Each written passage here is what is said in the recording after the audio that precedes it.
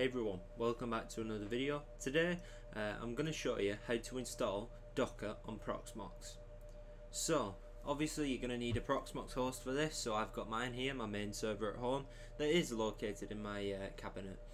Uh, so basically um, what you're going to need is a uh, container uh, so you can run a Debian container or an Ubuntu one um, through an LXC container if you want to know more about them, just let me know in the comments and I'll make a video on LXC containers um, and do, you know, overall a full in-depth guide on um, what they are and their advantages and disadvantages compared to Docker. Without further ado, obviously, uh, let's get into it. So you can see, obviously we're on the Proxmox web interface. All we're going to do first off is um, go to our local disk in my case I'm using my NAS so it's under ISOs and click on CT templates. Once you've done that click on templates again and then you get loads of templates here. So I'm going to just search for Ubuntu and we're going to get uh, 2304 the latest version. So that's going to download off the internet. What it does um, I've already got it so it's here. Next is clicking create CT so, give it a name. So I'm just going to call it YT Docker. Then the password, set it as whatever you want.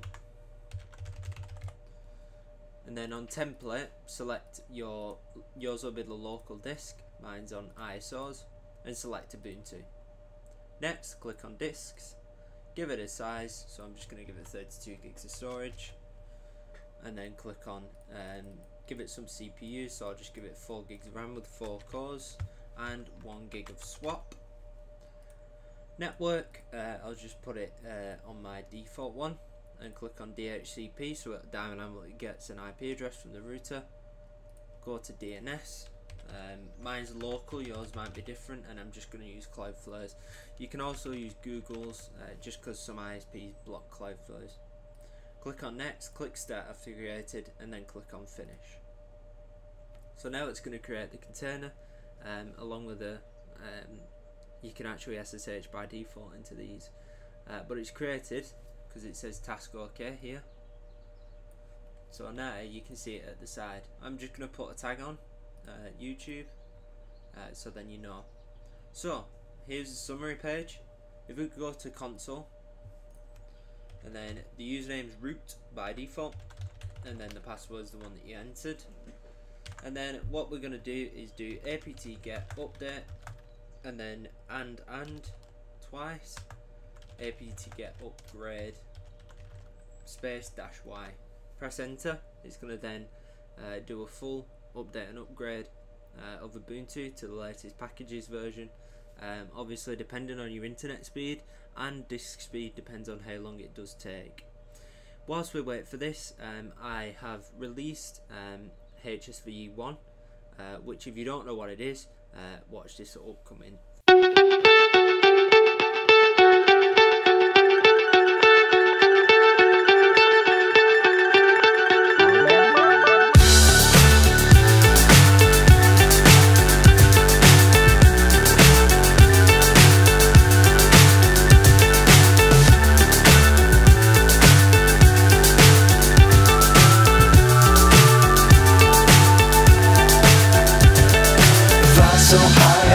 hypnotized What's up is down, what's left is right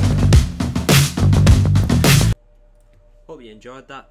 Um, if you want to obviously subscribe to some of our services, go to one.hsve.org. So anyway, you can see we're fully upgraded, so if we do apt-get install docker.io and then space docker-compose dash y. Now it's going to install Docker itself, uh, pretty, you know, straightforward.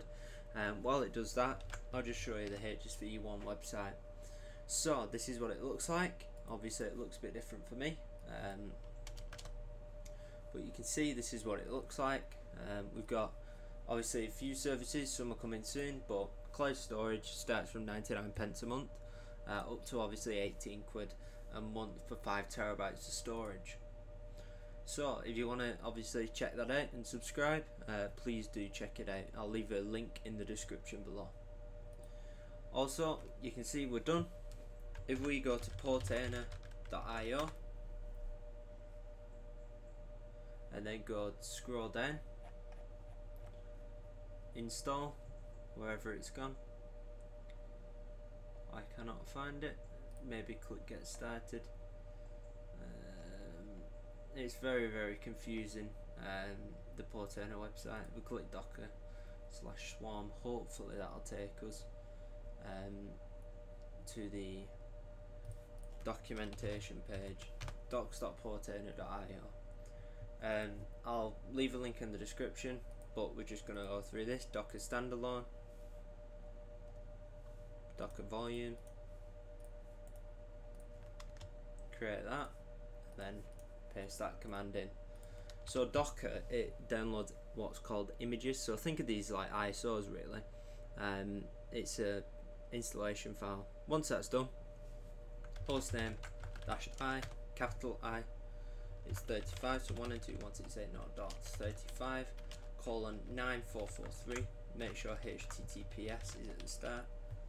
Click advanced proceed, and now you can obviously create your password.